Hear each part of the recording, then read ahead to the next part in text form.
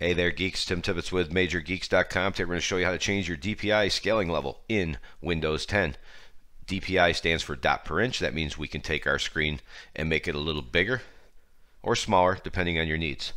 There's a couple ways to do it, but please, before you start, scroll down to, as dumb as it seems, now that I think about it, restore default settings, just in case you get in trouble and you can't change your settings back. Click this link right here, and please check the video description for the link to both this tutorial and this download. Click download now, get the files, extract them, and you'll see I have it waiting for me on my desktop right here where I can find it if I get in trouble. And you'll see me get in trouble in just a minute because why not?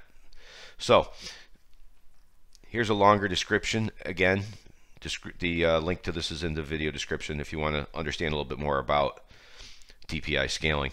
But I think it's easier to show you, hence a video. So let's go to the desktop and right click Click on Display Settings. And right here under Scale and Layout, you will have the sizes that Windows will support depending on your video card, depending on your display resolution, and depending on your monitor. So it all has to be basically Windows 10 is going to let you know what you can get away with here.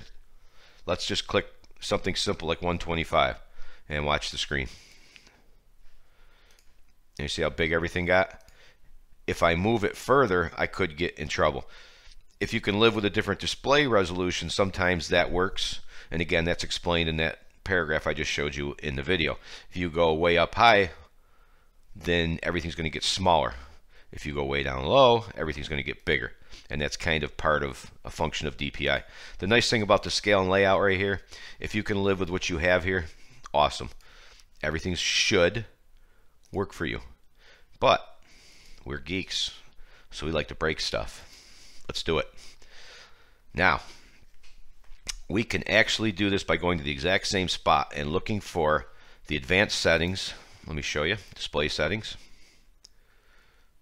Advanced scaling right underneath where you were looking at this. Click on that. This is also available in the registry, but it's kind of pointless because actually this didn't exist in some versions of Windows 10. So check this out. Now I can do between 100 and 500. So let's do 125. Whoops, don't do 125 for. Do this. Now you'd have to sign out to see it, and you'd be all set, and you would have the same number. But here's where this is great. Let's say the 125 was too much. You could dial it in just a little bit and say go 100, or maybe it's just a tad small for you. So you could do 150. But here's the problem do it carefully for me. This is why I had you download this registry file. If you jump too far up, let's say we'll do 200, thinking, well, that's not too bad, right? Let's sign out. Here's a problem. Sometimes, and I, I'm not even going to say sometimes, most of the time, your stuff just isn't going to work. Look at that. So, for example, look at the size of it. So let's say, all right, this is ridiculous. I'm going to change it back. And here's where you're going to run into a problem. Click on your display settings Now you scale and layout. Ah, I can find it. Beautiful. So when I did this earlier, it was actually opening to background because the app didn't fit. So now I can still fix it. That's just nice right there. But we're not going to fix it because we want to break it. Sign out. I'll show you what I mean. Eventually, so what happens is, let's say you're playing games, you have certain apps, I don't care what it is. I don't care what you're using. Once you get to a certain resolution, Windows is going to choke. Sooner or later, it's going to choke.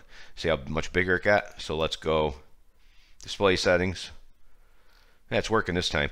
I did it earlier. It kept opening to background or something. So all fine and dandy. So you, you can't find the close. Here's a minimize. So it shows you right there how it actually breaks things. Look at your taskbar. I, I, would have to expand it, make use small icons. I can't find it now. So now I just lost my settings, which I could start over again. See? Kind of a pain. Or if you just want to get out of this and get back to the default, see the size of this? you used to seeing that, but not that size. Super size. Click yes, click yes. And we'll have to, I don't know if I have this set to sign out. Let's just do a quick restart. You can restart, you could sleep, sign out.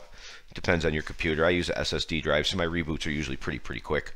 But just to show you the possibilities that you could run into if you go too far. So if you want to dial it in at 110, 115, take the time to take it slow just to save yourself the trouble of having to do all this. But if you've got that registry file, knock yourself out. There you go.